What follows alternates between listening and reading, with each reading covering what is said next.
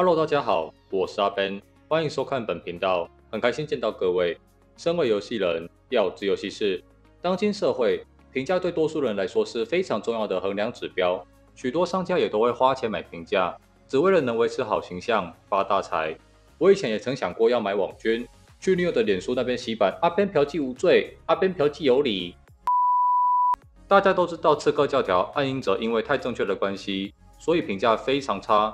许多玩家也都在官方影片底下嘲讽和给到赞，不过最近却被一名创作者抓包，玉璧貌似出动评价机器人，试图拉高暗影者的形象。这位创作者解释，所有留言者对暗影者的评价都非常正面积极，而且战术都介于四千九到五千一之间，还有使用者名称都是一个真实名字加数字的组合，然后全都是在四个小时前留下评论，照片也几乎都是美丽的女性。通常点进去看留言机器人的页面。会发现有个外部连接，不外乎都是不正经的内容。不过这次的留言机器人却没有任何的外部连接。至于留言内容，大概是天气系统看起来很棒，我要马上玩这款游戏，我超爱暗影者。现在怪胎都滚了，我们这些正常人可以来讨论游戏了吗？已预购，等不及开玩了。清一色都是这种赞美评论。当然，这到底是不是玉璧花钱做的也无从得知，毕竟不排除有人在故意搞事。让公司的形象越来越差。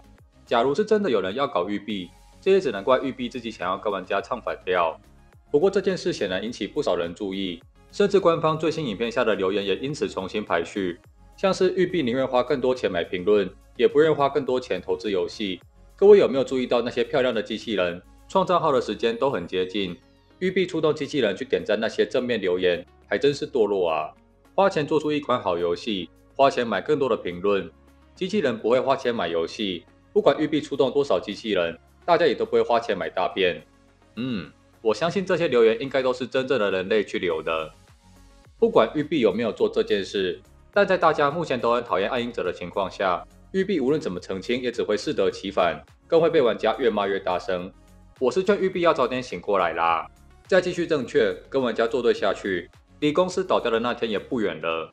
真期待暗影者上市那天究竟能闹出多大的笑话！